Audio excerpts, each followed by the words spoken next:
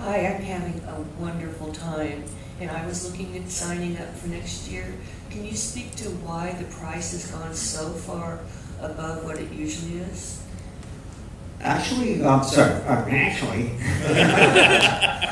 we work very hard to make it as, um, as good a value as possible. And the way we set the pricing is really based on our operations and how much we need to spend.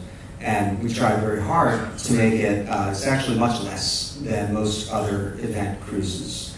But there's an awful lot. Um, the ship itself is not cheap. Uh, fortunately, it comes with all the crew. And of course, we want to compensate all of our staff properly and our guests. So, um, you know, my, my hope is that the price perception would be that it's a good value, but we do know that it's you know, something that that is is difficult for people to do, and it's what motivates us to try to put on the event, best event possible.